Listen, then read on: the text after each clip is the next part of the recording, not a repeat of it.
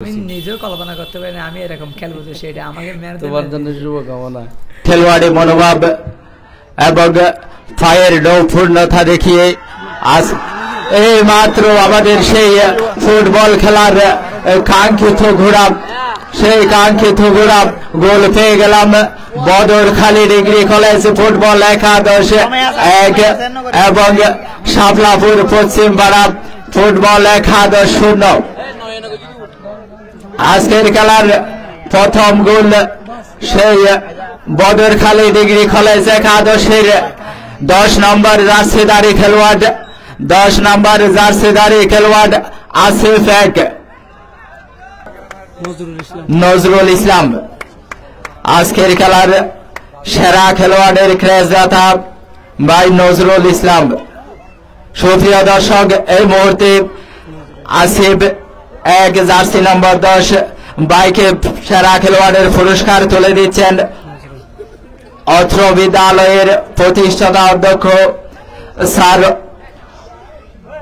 Mohidin Kader Rodul, Badarkhali degree college, degree কলেজের অধ্যক্ষ sir Mujibur Rahman এবং একমাত্র ক্রেজদাতা নজরুল ইসলাম।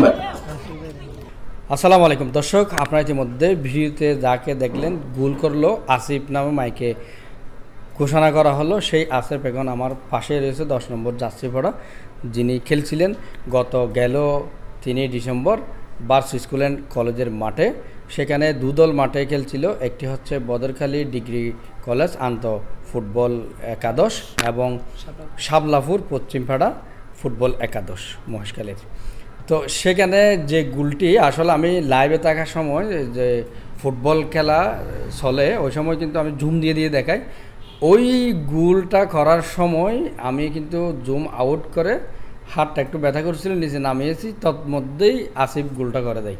তো সেই গুলটি কীভাবে করে আমি তার মুখ থেকে শুনব আজকে? তাকে নিয়ে এসেছি, আমাদের বদরকালী ভবাসী কল্যাণ সমিতি অফিসে, সেখানে বসে নিরিবিলিতে ভিডিওটি করতেছি, আপনাদেরকে দেখাচ্ছি। তো আসিফ জুনিয়র তোমার নাম তো শুনলাম মাইকের মধ্যে তোমাকে আজকেই সরাসরি দেখলাম। তো তোমার এই গুলটা যে ঢুকিয়েছো আসলে আমি খেলার সম্পর্ক তো কিছু জানি না বিদে আমি তেমন সাজালো গুছালো ভাবে খেলার কথাগুলো বলতে পারতেছি না। তুমি দর্শকদের উদ্দেশ্যে সেটা সুন্দরভাবে গুছিয়ে বলবা। সালাম আলাইকুম।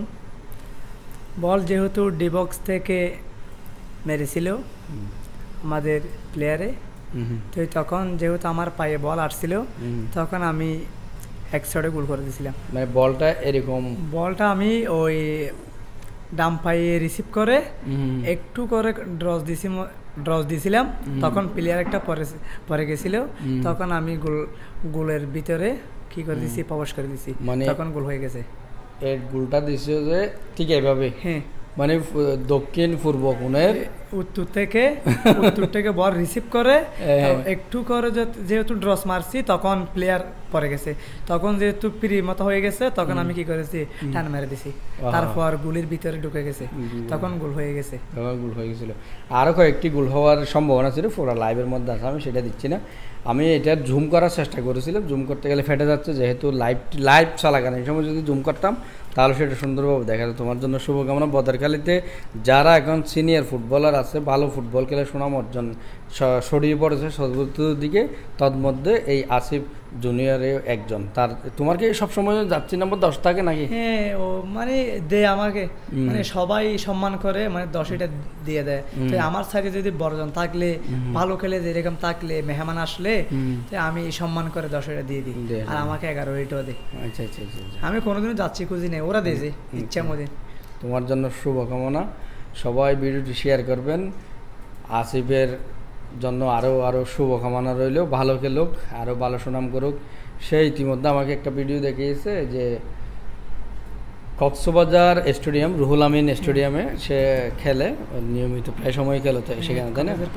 ঢাকাতে যাওয়া হয় চট্টগ্রাম ঢাকাতে। একবারও যাই নাই কিন্তু যাওয়ার আগ্রহ ছিল। কিন্তু হেলাপের কারণে কিন্তু যাইতে পারতেছি না। এই তো চেষ্টা করতেছি তো যারা আছেন এই ক্রীড়া মোদী খেলা নিয়ে মানে সব সময় ব্যস্ত থাকেন খেলার আঞ্জাম দেন।